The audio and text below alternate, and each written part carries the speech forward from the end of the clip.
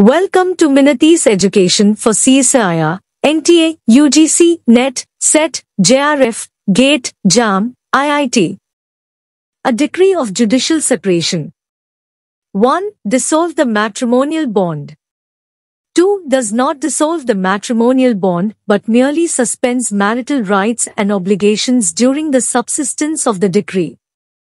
3. Mandates that the parties still continue to be husband and wife but not obliged to live together.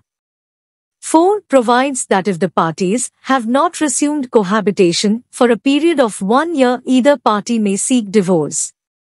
Codes A 1, 2 and 4 B 1, 2, 3 and 4 C 1 and 4 D 2, 3 and 4 Answer D.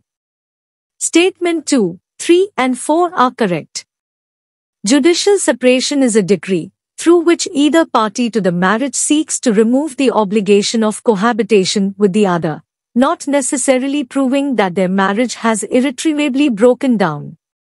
It is a legal way to live separately from the spouse without obtaining a decree of divorce. It also provides that if the parties have not resumed cohabitation for a period of one year either party may seek divorce. Thanks for watching. Visit again.